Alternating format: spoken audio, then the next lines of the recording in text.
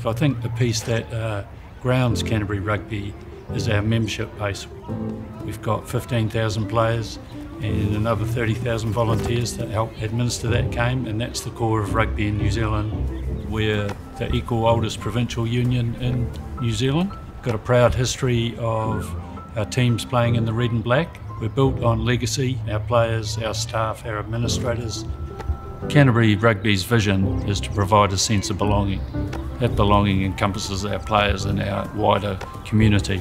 Miles Toyota are interested in the community focus and how we can grow the overall game of rugby. Whether it's coincidence or not, the Farah Palmer Cup team has won four of the last six titles uh, while Miles Toyota have been involved. So right across the board, uh, community through to high performance, Miles Toyota have been there from the start in helping grow that game.